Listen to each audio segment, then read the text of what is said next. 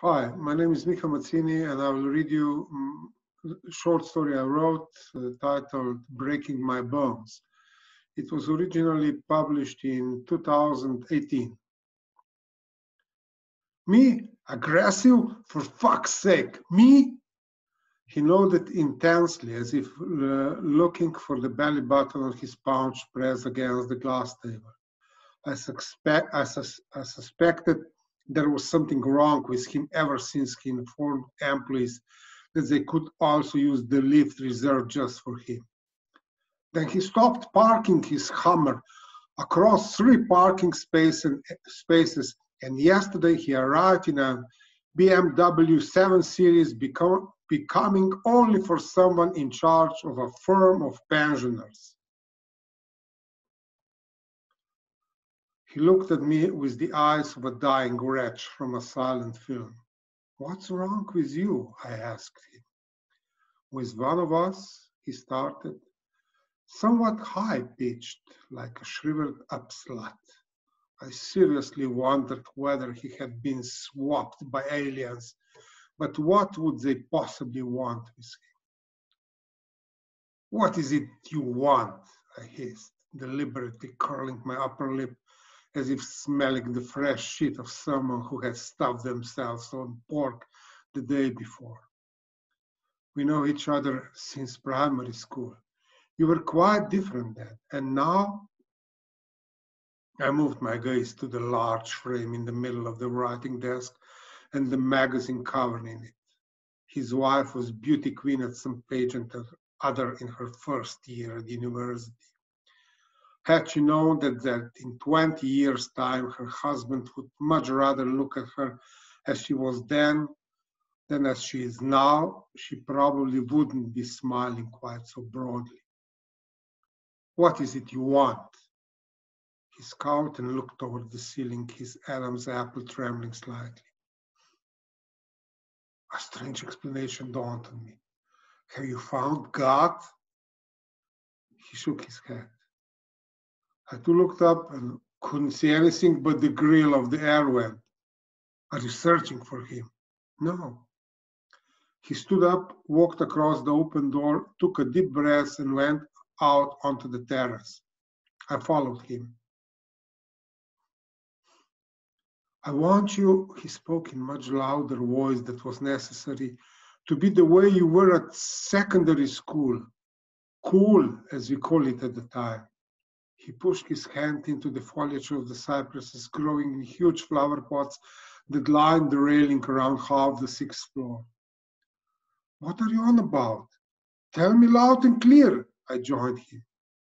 The town hummed below, cars competing at how to most successfully pollute the air more before sending it up towards us.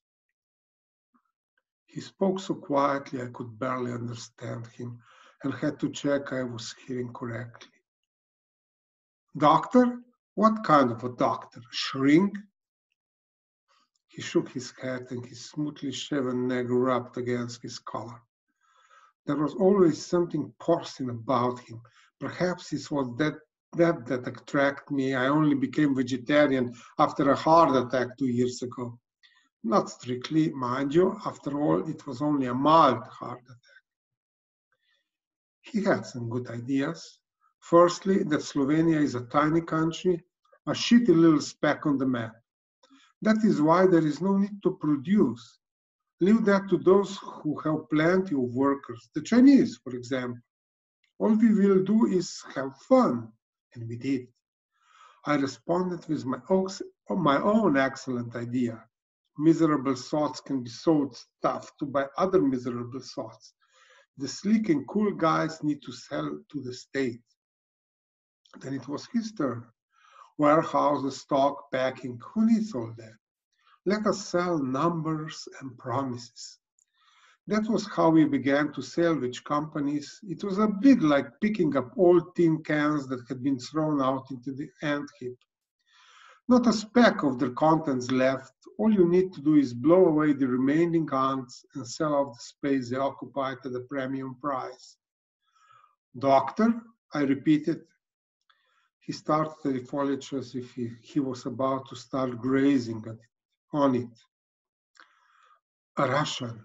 I could only just hear about the noise. I felt like I was having an otologic examination. Can you turn towards me and tell me clearly and loudly? To my surprise, he obeyed, despite stalling his words like cake ketchup. I wasn't feeling well. My wife recommended this doctor, but he's Russian. All the things they developed with astronauts in the Soviet Union, they have these devices. You hold two electrodes and the machine whistles, hums. Well, um, he discovered I was full of negativity.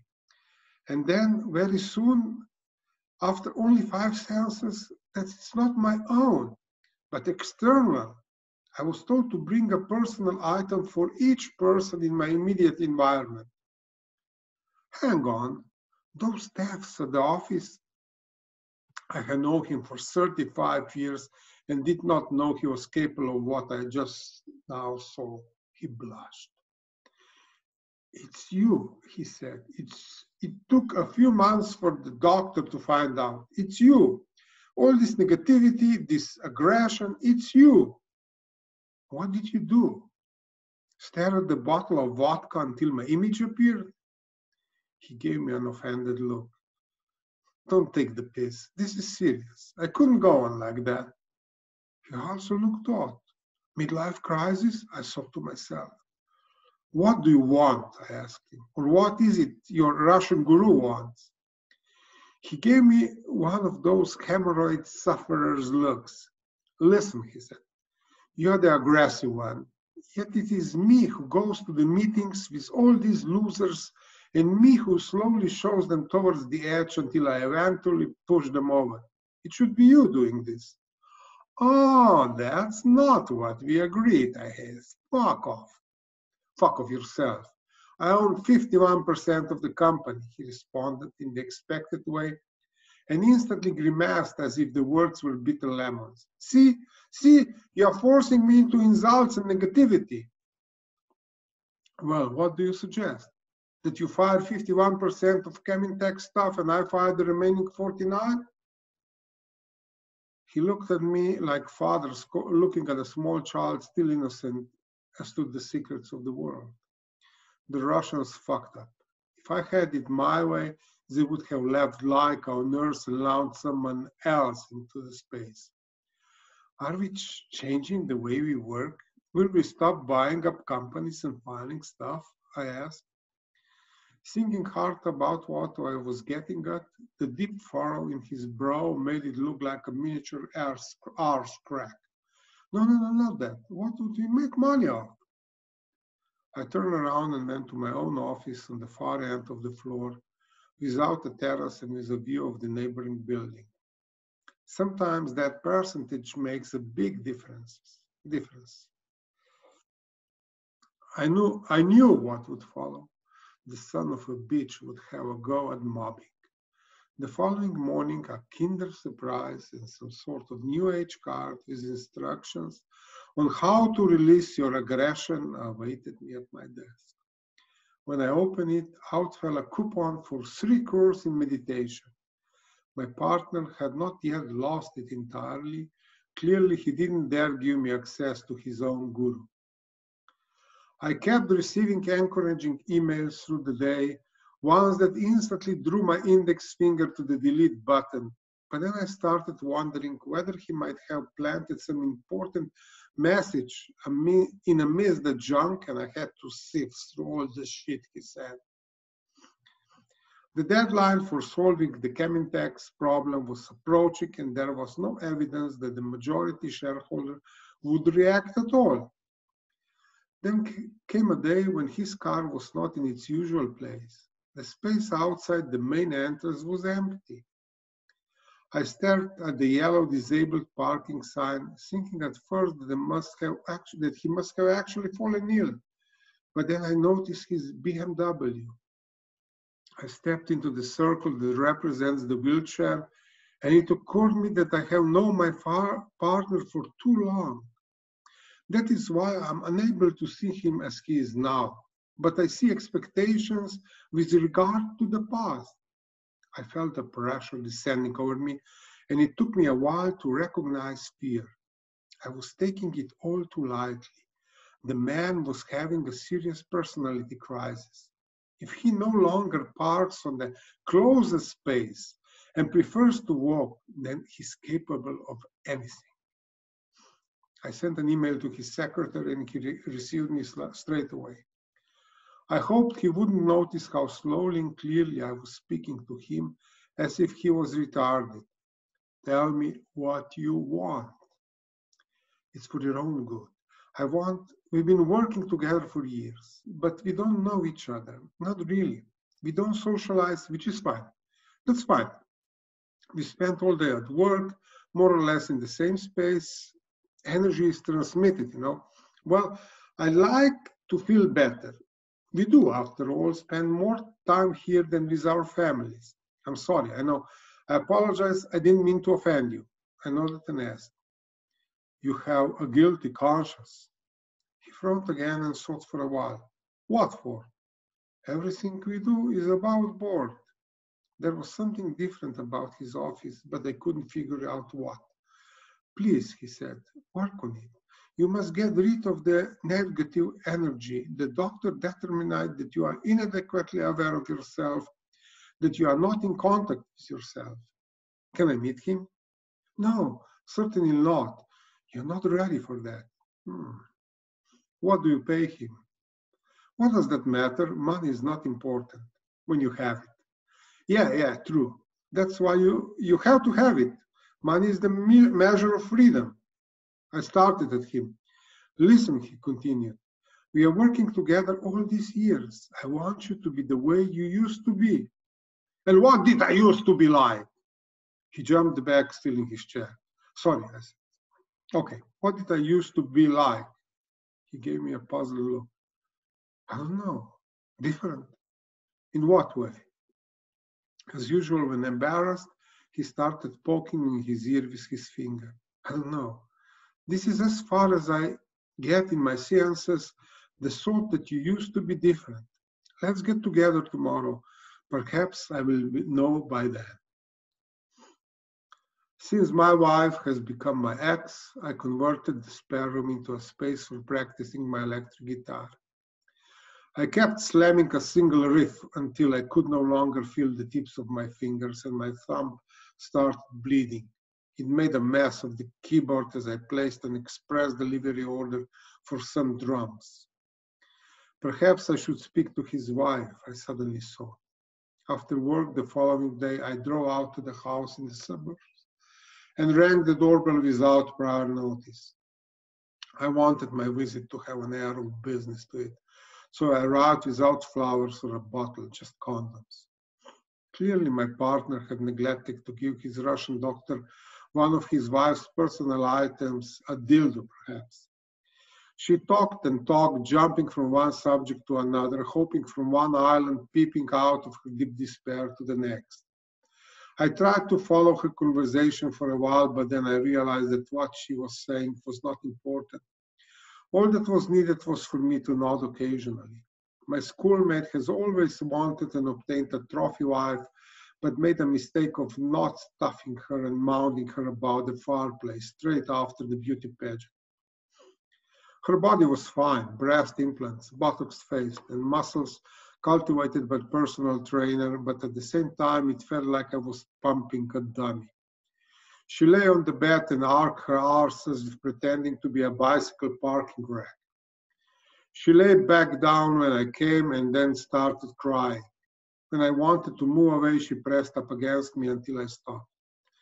I watched the clock by the bed and wondered what we were going to do about this Chemintex. I could fire them all myself, but if I don't stop my partner madness at this early stage, God knows where it could all end. I started calling in on her every day after work. Considering the ratio of sex to crying, I had the feeling I was wringing her out rather than fucking her. My partner needed a whole week before awaiting me with a triumphant smile. I remember during yesterday's seance I was always the way I am now, but you used to be different. Well, well, okay. You told me that. Well, in what way? Do you remember the bird? No. He was so satisfied with himself that he almost clapped. Ha! Do you remember the trip to that mountain when we were in primary school? What trip? When we found the bird. I shook my head. It had fallen out of its nest. We wanted to smash it with a stone, but you stopped us. You picked it up and carried it all the way back down to the valley. Everybody took the piece out of you. Something started thinking in my memory, and he made every effort to try and help me remember. You fed it. It was in the days before the internet, so you went to the library to find out what you were supposed to feed it. I came round every day and saw how you looked after it. Don't you remember how you tried to teach it to fly? I grumbled something vaguely at him. You put a dictionary on the table and placed the bird on the edge, pushing it over. Remember how it started fluttering its wings? Yes. Well, there. Then you began pushing it off the edge of the table, and finally we took it up to the terrace of out of our block of flats. During yesterday's seance, I held those electrodes and couldn't believe how vividly that morning has stayed in my memory. Damn, Dawn, everything was quiet. You, you with that black bird in your hands. Remember? Yes. And then you said, but it can't just live like this. Let's give it a proper send off. Let's sing it to it. And you started singing that Beatles song, Your Bird Can Sing, or something like that, but you couldn't remember the words, so you sang Let It Be instead. What a morning that was. I remembered everything. You got that wrong. Oh no, don't deny your own kindness. Okay, so what? I said. We went to the railings, you stretch out your hand and let go of the bird. What a morning. It dropped like a stone, I snapped at him. He grimaced with offense. Don't be so petty. See how your negativity and aggression immediately surface. I couldn't take my eyes off his hands that had started shaking. Have I heard correctly? Did he really pronounce it as negativité or aggression? Was he about to have rolls of Russian subtitles come spurting out of his mouth? He started at me as if he was about to start throwing up coins. And what now? I was becoming impatient. Now all is clear. This is a case of in parallel world, I'm here just as I am now, but you are not. You are out there being charitable, helping others. You are a good Samaritan. This is my fault and I feel bad, guilty for having lured you into the business instead of charity. You could be in India with Mother Teresa. She's dead. There, see, see that? The doctor said that's typical. Getting bogged down in details, not allowing the truth to liberate you. And because you are not living your life, you are infecting all the rest of us with aggression and negativity. I caught myself sighing as if sitting on a torture chair. We stared at each other and he smiled at me encouragingly. What about Chemintex? I asked. They are to be fired. Oh, I just love your use of the infinitive. When are you going to fire them? He put on the stricken father look again. It can't be me, really not.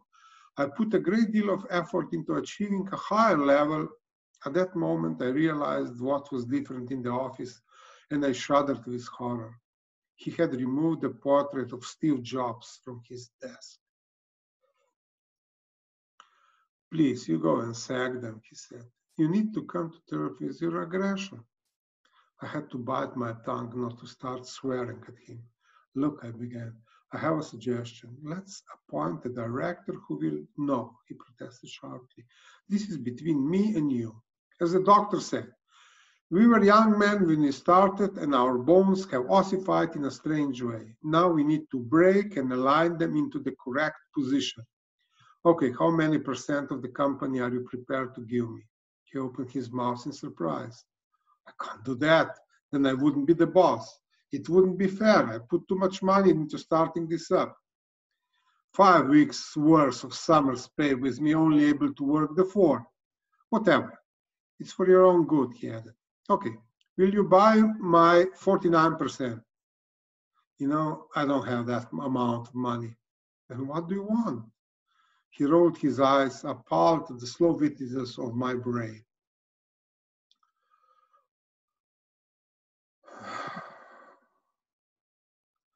There time faster and faster until I discovered I was only interested in the transitions. One transition after another, faster and faster until every strain of hair was its has its droplet of sweat and the t-shirt slaps against the frenzied body. Drumming, drumming, drumming. Amid the tears, she said, if only I had a child, it would all be different. Please go and fire them. It will do you good. The doctor says that you can close your eyes at the summit of your activation and withdraw into yourself, get in touch with yourself. You will see yourself from the outside as your own double. Watch it. He called it doppelganger because your true self will observe your false self, you will be liberated. You will open your eyes and be calm. You will be a different person. You will be your true self, pure. Perhaps you will even get your family back or start a new one. Please. How could the E string snap? It's the sickest of them all, for fuck's sake. I started plucking the remaining five and eventually slammed the guitar against the wall. I pierced the drum head on the bass drum. I yelled at the guy on the online sales helpline and it didn't stop even when I realized he had long conga.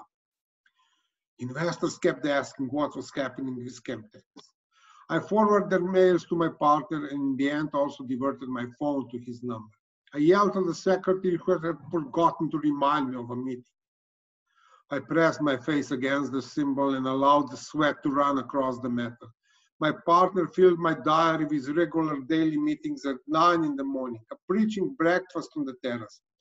When we were having sex, his wife turned around and looked at me without blinking.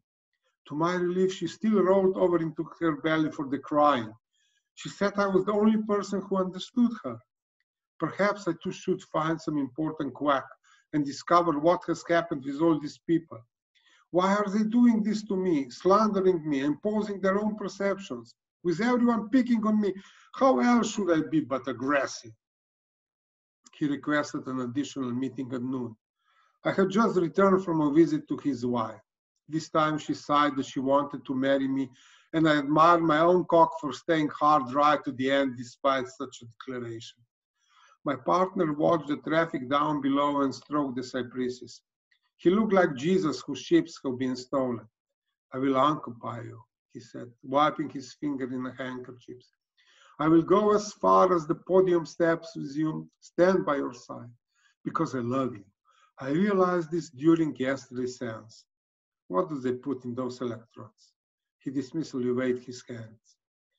This sarcasm and rejection of yours is only the surface, because you are afraid of the gentleness that will emanate from you when you rid yourself of aggression, when you are once more your true self, as you were when you were teaching the fledgling to fly. Come, let me give you a hug. He opened his arms. I closed my eyes. Contemplating the reddish firmament sprinkled with shooting stars, I started singing Let It Be with the Holy Mother telling me to let it be, just let it happen, let it be. When I opened my eyes, there was nobody there to applaud the equanimity I felt.